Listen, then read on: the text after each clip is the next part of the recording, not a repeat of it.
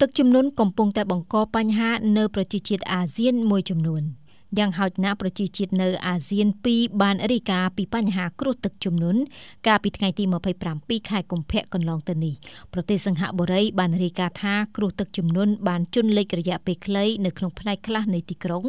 ដោយសារតែភ្លៀងធ្លាក់យ៉ាងគំហុកនៅតំបន់ជាច្រើន រហូតដល់ប៉ះពាល់ដល់សេវាដឹកជញ្ជូនសាធារណៈមួយចំនួនផងដែរអាជ្ញាធរសង្ហបុរីបានប្រកាសថាភ្លៀងដែលបង្កជាបញ្ហាជន់លិចនោះគឺធ្លាក់មកក្នុងកម្រិត141.8មីលីម៉ែត្រចាប់តាំងពីម៉ោង11:35នាទីព្រឹករហូតដល់ម៉ោង2:55នាទីរសៀល។នៅប្រទេសម៉ាឡេស៊ីឯណោះវិញប្រជាពលរដ្ឋប្រមាណជា12000នាក់ត្រូវបានគេជំលៀសចេញពីផ្ទះសម្បែងរបស់ពួកគេក្រោយពេលដែលមានទឹកភ្លៀងធ្លាក់យ៉ាងខ្លាំងនិងបង្កជាទឹកជំនន់នៅតាមបណ្ដារដ្ឋនៅឆ្នេរខាងកើតនៃប្រទេស។ លោកអ៊ីស្ម៉ាអែលសាព្រីយ៉ាកុបនាយករដ្ឋមន្ត្រីម៉ាឡេស៊ីបាននិយាយថាអាញាធរគឺកំពុងតែជំលះប្រជាពលរដ្ឋទៅរកកន្លែងទីមានសុវត្ថិភាពខណៈដែលមានការព្យាករណ៍ថានៅតំបន់ឆ្នេរភាគខាងកើតអាចនឹងបន្តមានភ្លៀងធ្លាក់មកបន្ថែមទៀត។